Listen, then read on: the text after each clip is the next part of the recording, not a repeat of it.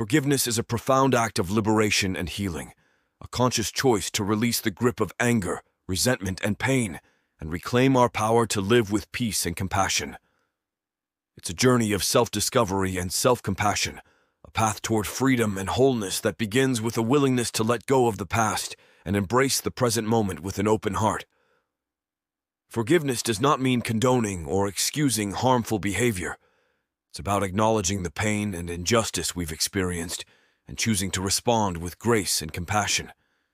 It's about recognizing our shared humanity and the inherent worth and dignity of every individual, even those who have wronged us. When we forgive, we break the cycle of hurt and retaliation and create space for healing and reconciliation. We release the burden of carrying resentment and anger and make room for love, joy, and inner peace to flourish in our hearts.